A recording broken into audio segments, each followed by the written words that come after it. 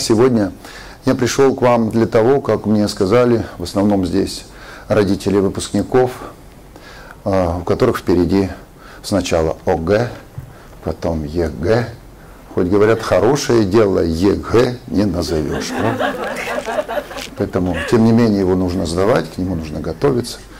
Что нужно сделать перед экзаменами вашим детям? Во-первых, нужно их успокоить, потому что они очень волнуются они очень переживают. Они очень переживают. Даже не представляете, как им сегодня тревожно. А для этого нужно провести вот такой спокойный, добрый разговор по душам, о душе. Что жизнь после ОГЭ и ЕГЭ продолжается. Есть жизнь после ЕГЭ? Есть. Какая она будет? Сыночек или доченька, не сомневайся, она будет такой, которую ты себе выберешь. А потому не торопитесь выбирать за детей. Я ни в коем случае не соглашусь с мнением, что вы выбираете путь ребенка. Есть очень, ну можно сказать, неположительный пример, когда я знаю одну семью, в которой еще ребенком на моих глазах вырастала девушка, и вот стал выбор, куда ей дальше идти учиться. И мама сказала, пойдешь учиться вот в этот вуз. Девочка хорошо училась. Она туда поступает. Она его заканчивает. И приходит к маме и говорит, мама, я его закончила. А теперь пойдешь другой, потому что там больше могут платить. Она заканчивает второй вуз. Мама, я закончила вот два диплома. А теперь, ты знаешь, это уже никому не нужно, иди в третий. А на третий вуз заканчивает. Ребенок закончил три института. И что теперь? И она не работает ни по, ни по одной из трех профессий, которые мама ей посоветовала. И так дайте возможность ребенку определиться самому, что действительно тебе близко – техническая, может быть гуманитарная, а может быть действительно какая-то другая сфера твоей деятельности. Итак, первое – это успокоить. Второе – настроить. И третье – указать путь. Указать путь ребенку, что все, что ты не берешь, сынок, от жизни, за все придется давать отчет. Поэтому скажите ребеночку, своему пусть выпускнику, ты можешь не сдать, сдать, ты всегда будешь мною любим. Мы никогда тебя не оставим мы всегда будем рядом с тобой. Вот это самая главная поддержка родителей.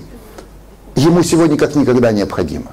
И счастлив тот отец и мать, которые воспитывают детей своих в Боге и говорят, что кроме нашей поддержки, причем она очень слабая и ненадежная, у тебя есть Бог, который есть помощник и покровитель. В книге Священного Писания Паралипоменон есть замечательные слова. Господь обозревает всю землю, чтобы поддерживать тех, чье сердце вполне предано Ему. Вы слышите?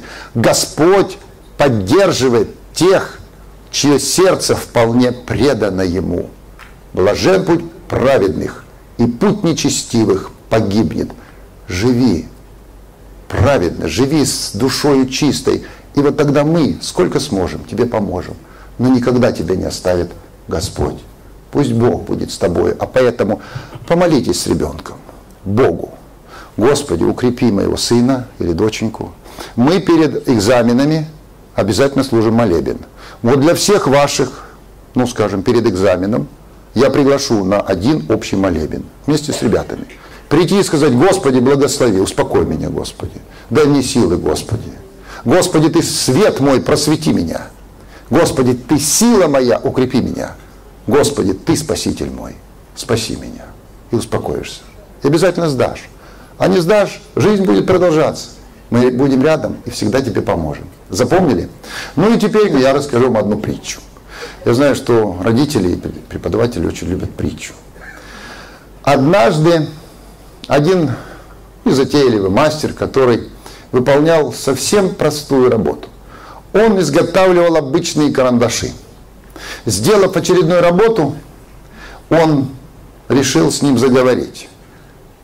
И говорит, слушай, сегодня я хочу дать тебе четыре совета. Запомни, сказал мастер. Первый. Теперь у тебя начинается самостоятельная жизнь. И у тебя обязательно будет момент, а может быть и не один – когда тебя будут стружить. Но от этого ты еще больше будешь нужен людям. Второе. Запомни, что ты наверняка будешь в своей жизни делать много ошибок. Но есть замечательное такое простое средство, которое позволит стереть все твои ошибки. Третье. Самое дорогое и самое главное у тебя, всегда помни об этом, это то, что у тебя внутри. Без этого ты никому не будешь нужен. И четвертое. Запомни, где бы ты ни оказался, ты обязательно должен писать. И с этими словами мастер положил карандаш в коробку. Это непростая, очень интересная смысловая притча, которая, немножко пояснив, скажу, мастер, творец, Бог. Карандаш каждый человек. Об этом можно сказать своему ребенку. Ты как карандаш, каждый человек. Мы должны помнить, что и в нашей жизни бывают моменты, когда у нас ну, что-то не будет получаться, и нас будут стружить. Ничего. Все, что нас не убивает, делает нас сильнее. Правда?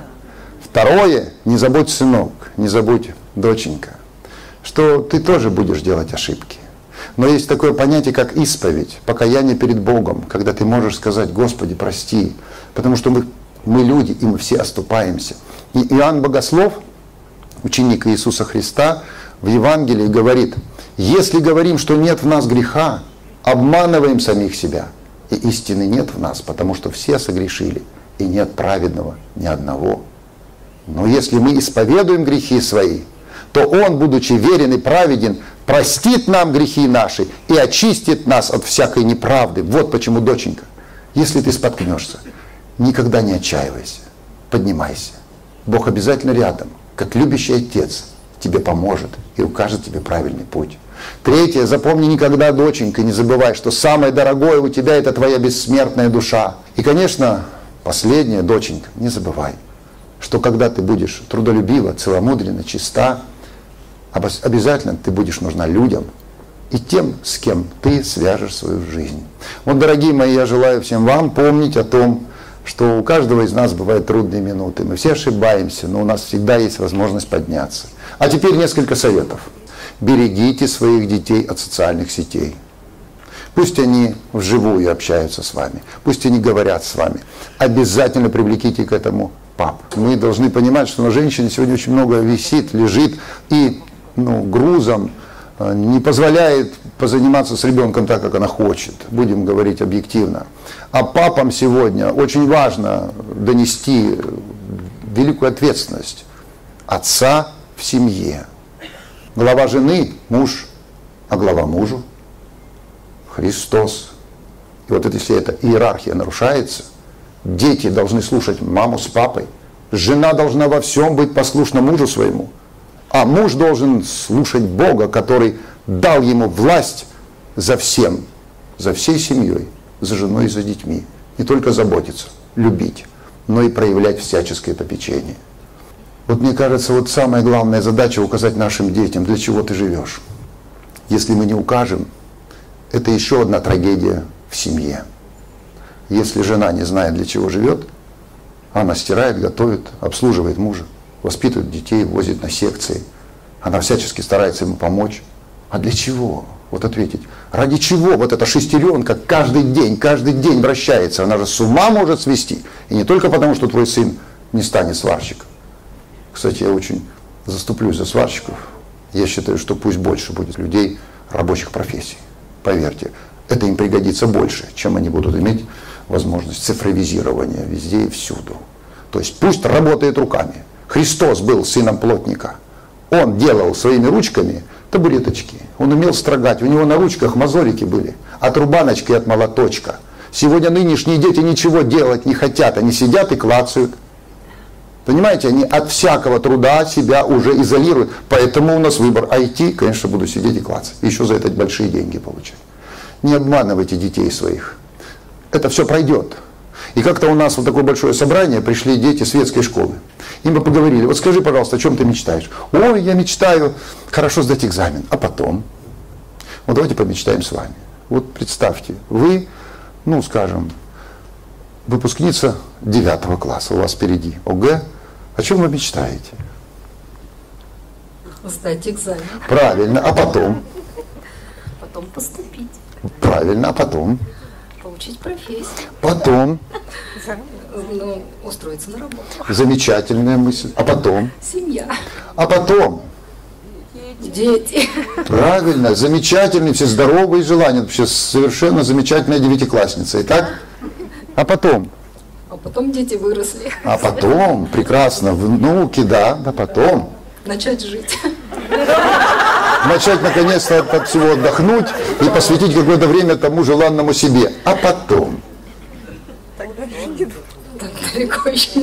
Вот напрасно, давайте смотреть на жизнь серьезно. Потом? А потом всю жизнь закончилась. А потом? Прийти к Богу. Спасибо, вы были очень откровенны, и я вас за это благодарю. Вот так девчонки приходят, да, я хочу того, я то, я хочу машину, я хочу за границу, я хочу... Хорошо, потом. А потом, а потом я состарюсь, а потом, а потом я умру, а потом. А потом все. А вот здесь-то как раз и есть самое главное заблуждение светского образования. Умрешь, и на этом все. Атеизм и атеистическое воспитание учит ребенка.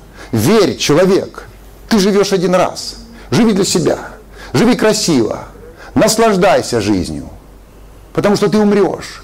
И не успеешь. Бери, хватай, живи на яркой стороне. Слышали? Это весь лозунг современного мира. Это ужас. Разве можно иметь смысл жизни, о чем говорит атеизм, в смерти? Ты умрешь, а потому бери, не успеешь. Хватай, наслаждайся. Вот и берут те, кто поподлее, кто посмелее, берут от жизни все. А может быть, не все нужно брать от жизни. Нужно что-то еще после жизни, после этого времени, после себя еще оставить совершенно правильно. Чему учит наше с вами православие?